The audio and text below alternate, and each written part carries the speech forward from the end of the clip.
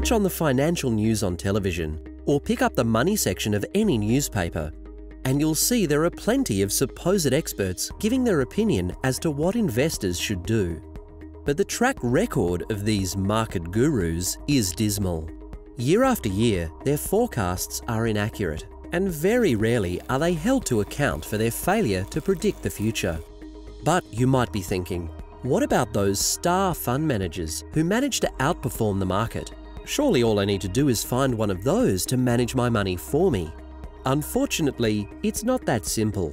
Research has consistently shown that only about 1% of fund managers beat the market consistently over the long term, and they're almost impossible to spot in advance. It takes 22 years of data to be 90% certain that a manager's outperformance is genuinely down to skill rather than luck. And even those few managers who do outperform generally recoup for themselves any value they add in fees.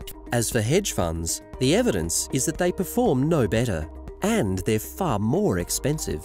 Every year, hundreds of hedge funds and mutual funds are either closed or merged with another fund because they perform so badly. The second step to successful investing, therefore, is to beware of market gurus.